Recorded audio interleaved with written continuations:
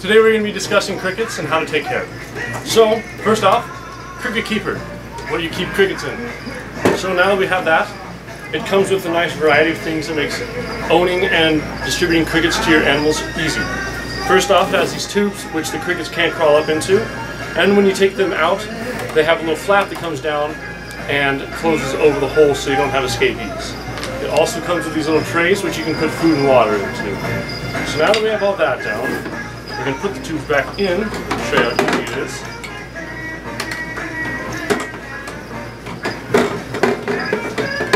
Now that we have the tubes back in there, we're going to add some bedding so our crickets don't stink. It makes it more sanitary for the animal to live in while it's waiting to be fed off.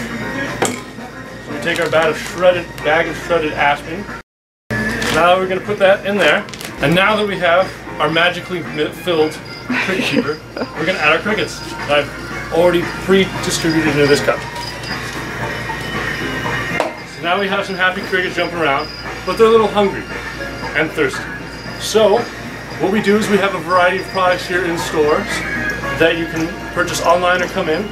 One of them is going to be from Flukers. It is a water bite. It's a gel form of water so they can't drown in it and get their hydration that way.